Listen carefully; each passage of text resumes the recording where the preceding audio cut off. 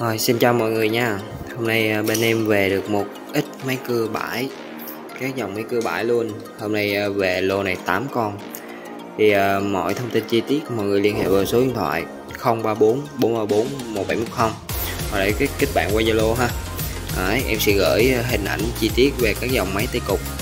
Uh, Công suất nhỏ hoặc công suất lớn. Uh, Hàng này hàng Nhật bãi nha. Hàng nội địa Nhật bãi.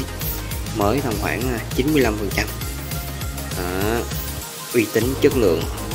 Thì à, mọi người cứ mua hàng của em.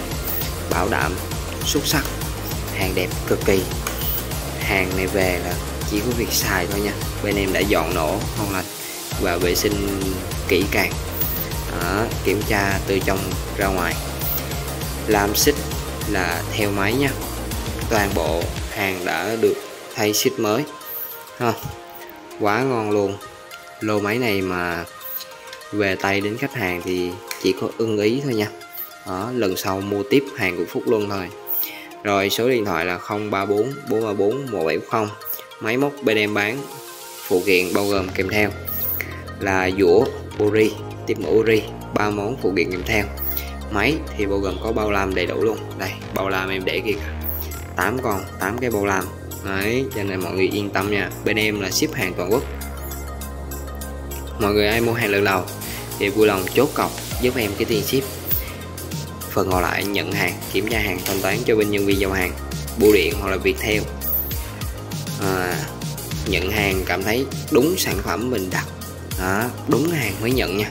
Không đúng hàng là gọi điện gửi không đúng hàng là trả hàng về liền. Đó, đúng hàng mới nhận.